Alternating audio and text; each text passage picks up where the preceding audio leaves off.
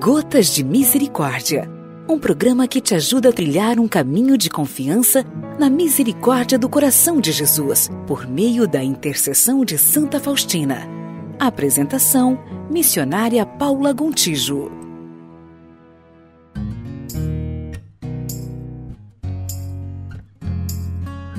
Mais uma vez nos unimos aqui em oração para meditarmos sobre a misericórdia de Deus, trazendo sempre como nosso guia, como nossa inspiração, o Diário de Santa Faustina.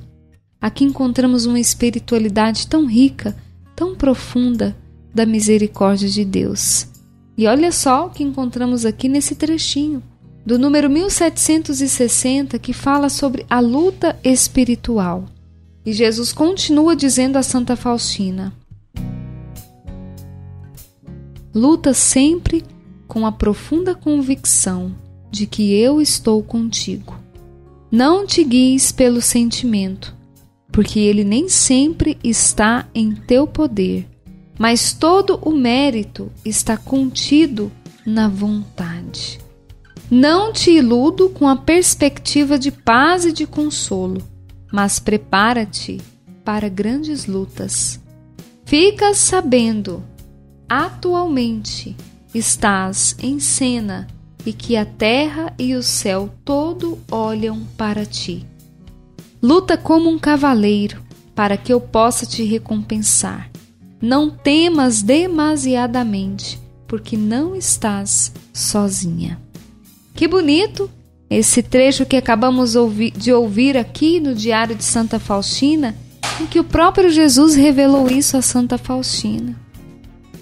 O Senhor sabe das nossas lutas, o Senhor sabe das nossas dores, o Senhor sabe das nossas dificuldades. Portanto, então, Jesus nos diz para que não desanimemos, mas lutemos fielmente como um cavaleiro como um guerreiro, porque ele será a nossa recompensa. E o grande consolo que o Senhor nos dá hoje é: não estás sozinha. Não estás sozinho.